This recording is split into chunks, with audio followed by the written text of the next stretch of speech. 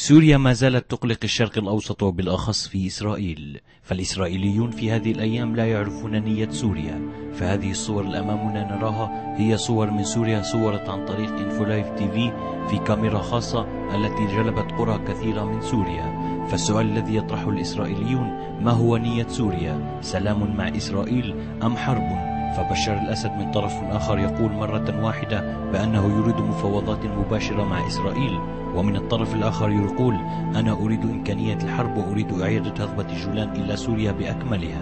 فالسؤال الذي يطرح نفسه ويسأله الإسرائيليين دائما هل سوريا بنية سلام أم هي تريد حربا مع إسرائيل في الصيف كما جرى مع حزب الله؟